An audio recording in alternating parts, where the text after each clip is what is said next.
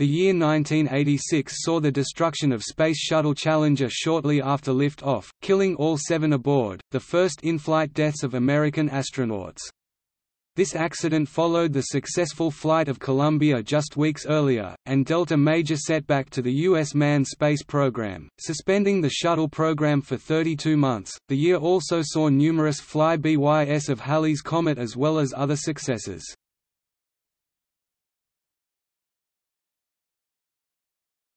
Topic: Launches.